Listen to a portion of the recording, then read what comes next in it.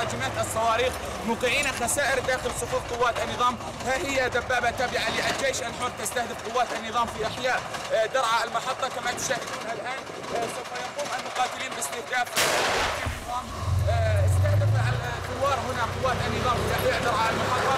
نحن على الخطوط القريبة جدا من حي المنشية وأحياء درعا المحطة.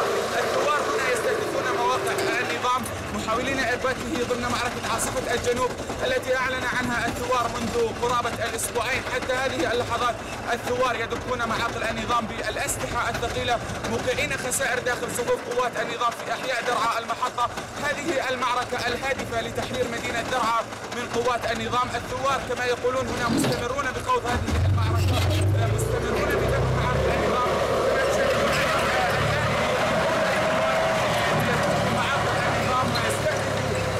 قوات النظام بالدبابات ولنشاهد هذه الضربة التي سوف يستهدف فيها الثوار قوات النظام في أحياء درعا المحطة